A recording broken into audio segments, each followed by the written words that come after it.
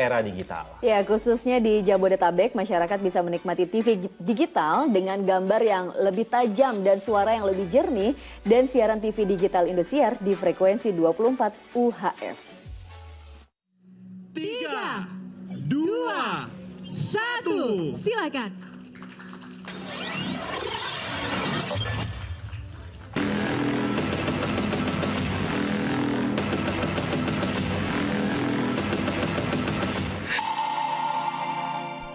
Akhirnya resmi menutup siaran televisi analog dan beralih ke siaran TV digital Rabu 2 November 2022 sejak pukul 00 waktu Indonesia Barat.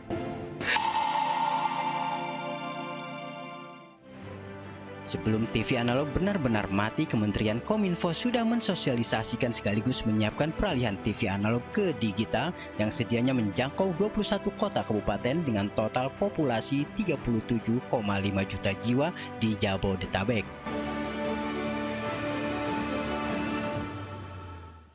STTV, selamat malam. Pihak Kominfo juga langsung berdialog secara interaktif dengan sejumlah stasiun televisi termasuk di antaranya dengan pihak stasiun TV Indosiar SCTV. Kami telah siap Pak melaksanakan Menteri. Mantap. Semoga dengan analog switch off malam ini SCTV semakin mampu dan semakin punya peluang yang lebih luas, lebih besar dalam menyajikan siaran lebih bervariasi. Sehingga kita bisa menjaga konvergensi penyiaran di Indonesia termasuk ya hidup berdampingan yang sehat bersama-sama dengan media-media baru yang juga mempunyai kemampuan melakukan ya siaran-siaran televisi. Selamat, terima kasih rekan-rekan SCTV. Terima kasih Pak Menteri. Sedikitnya 479 ribu set-top box subsidi sudah tersalurkan ke rumah tangga miskin. Untuk industri televisi melalui proses digitalisasi ini untuk menjaga konvergensi usahanya, namun memberikan multiplier efek yang begitu besar terhadap perekonomian nasional kita.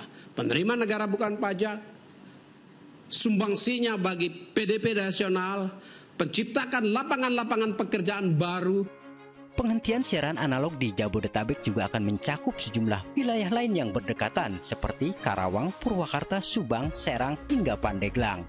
Migrasi ke TV digital ini akan memberikan manfaat yang banyak kepada masyarakat karena masyarakat akan memperoleh kualitas penyiaran yang lebih baik di mana Siaran digital akan menyajikan siaran televisi dengan kualitas audio visual yang lebih baik seperti kualitas di layar lebar.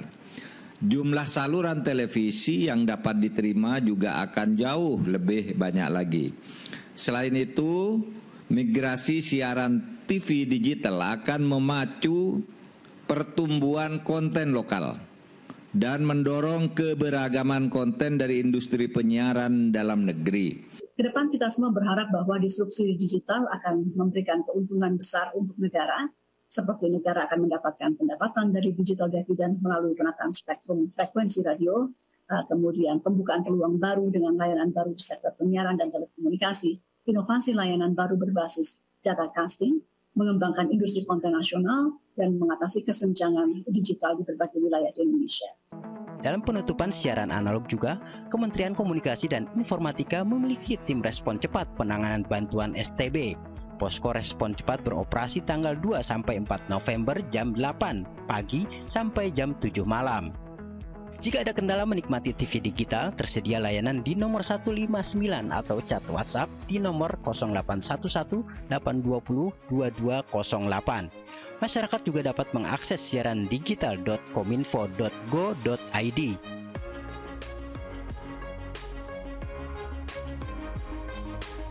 Ayo kita beralih ke TV digital dengan gambar lebih tajam dan suara lebih jernih dan siaran TV digital Indosiar berada di frekuensi 24 UHF. Tim Liputan melaporkan.